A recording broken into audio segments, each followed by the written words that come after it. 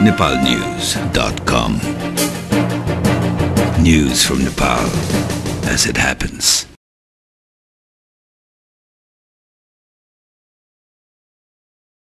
यस वर्षको हिन्दूहरूको महान चाड बडा दसैँ आज अर्थात् शुक्रबारदेखि प्रारम्भ भएको छ घर घरमा विधिपूर्वक घटस्थापना गरी जमरा राखेपछि बडा दसैँ प्रारम्भ हुने गर्दछ पञ्चाङ्ग निर्णय समितिका अनुसार घटस्थापनाको शुभसाहित नौ बजेर चार मिनटको समयमा घटस्थापना गरी जमरा राखिएको हो।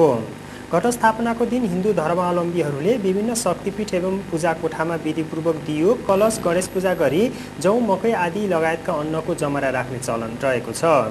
देवीको आराधना गरेर आज राखिएको जमरा विजयादशमीका दिन टिकासँगै आशिकका रूपमा लगाउने गरिन्छ।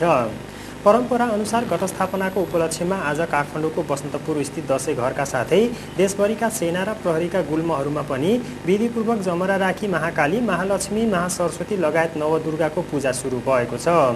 बिहान जमरा राखेपछि हिन्दूहरूले घर घरमा देवी मन्दिरमा दैवी शक्ति भएका कथाहरूको चण्डी पाठ गर्ने चलन समेत रहेको छ। पञ्चाङ्ग निर्णय समितिका अनुसार यस वर्षको दसैँको टिकाको साहित असोज एकतिस गते बिहान दस बजेर त्रिचालिस मिनट जाँदा उत्तम रहेको बताएको छ। हिन्दूहरूको महान चाड बडा दसैँ आजदेखि सुरु भएको सम्बन्धी समाचार यति नै nepalnews.com.